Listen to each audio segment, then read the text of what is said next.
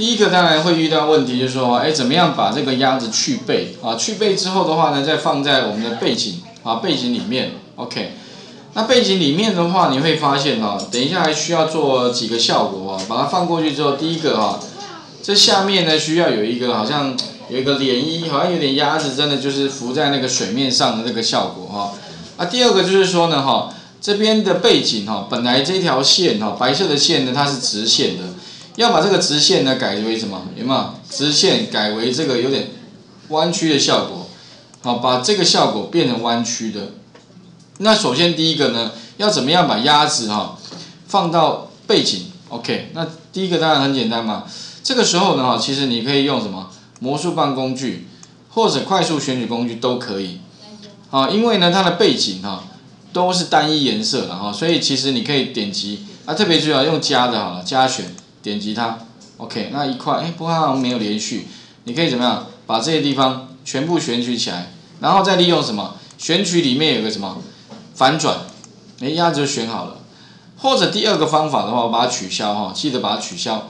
取消第二个还可以用魔术棒，我好像感觉应该魔术棒会比较快。为什么？点一下，全部就好了，有没有？因为刚刚那个快速选取工具哈，它会一块一块慢慢再加。那魔术棒工具呢，它一次就完成了。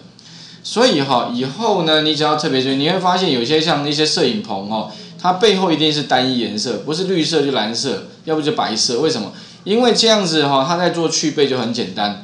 所以啊，你会发现那个现在那个电视台啊，电视台它背后那个什么布景都会变，而且改变很快哦。主要是因为哦，它摄影棚里面它背后实际上就是绿色或者是蓝色。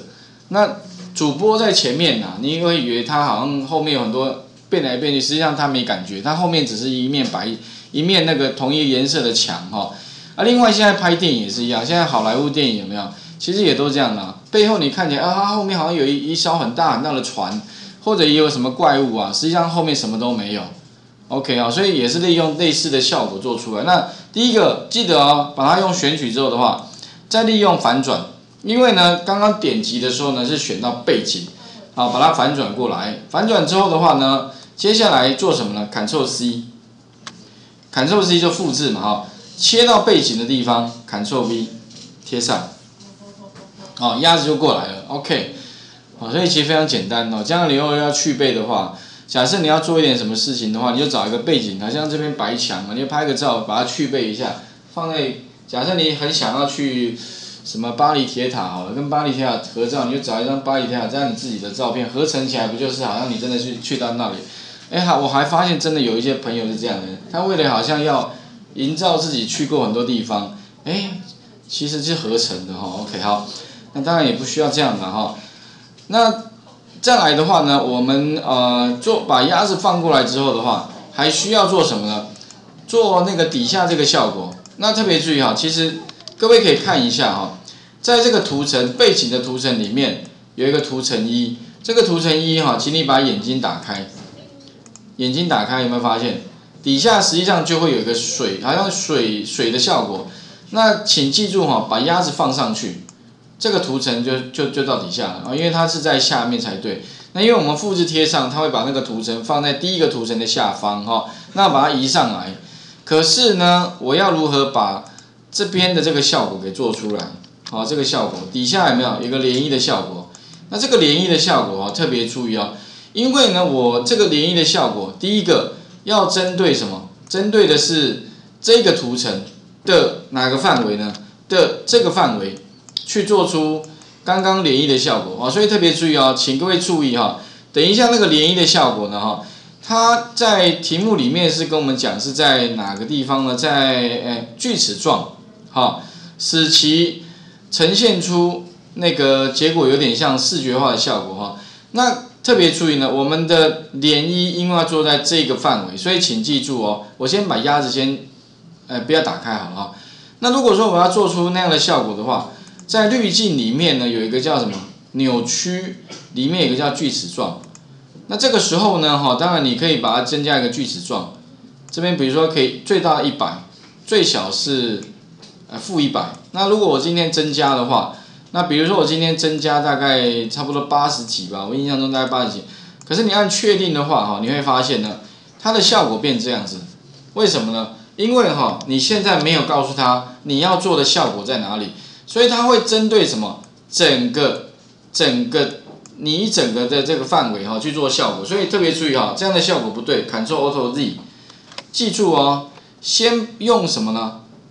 上面有一个叫矩形矩形选取工具，把这个范围先选起来，告诉他说，我现在的那个锯齿状的效果哈，只有针对这个范围，不要。上面的部分就不要了，OK，好，第一个啊，第二个的话，确定一下它的范围，它的图层哈，一定要是在这一个图层上面，你不要选错哦，不要选到那个鸭子的话，那鸭子变什么？鸭子脸上整个变成哦锯齿状，OK，好，再来做什么呢？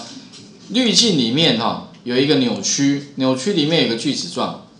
那大概数字我大概调了一下，好像是它八十八十几吧，八十四、八十五，OK 哈，好按个确定，各位可以看一下哈，哎有没有看到？就会刚好在什么呢？涟漪呢就会刚好在落在这个选取区域的中间的范围。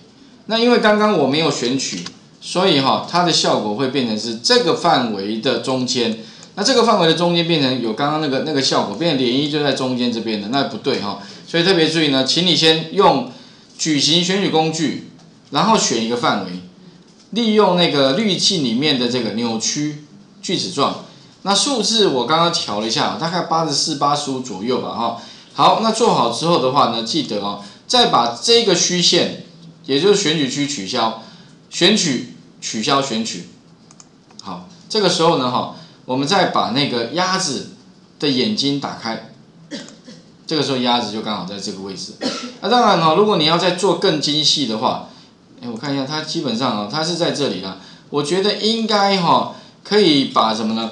把这个锯齿状，把这个中间的漩涡怎么样移到应该过来一点点吧？因为你会发现，你的鸭子哈，感觉好像在在这个位置，所以应该再过来一点点会更好了哈。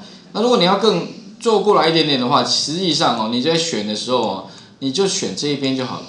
其实你选这边，它中心点就刚好在这里，有没有？OK，可以利用这样的方式去调整哈。好，这里的话，我想各位试一下，把那个如何制作哈一个那个鸭子，先把鸭子移的移到那个背景哈，并且在鸭子的下方哈制作出一个涟漪的效果哦，涟漪的效果。这里我想各位试一下哈。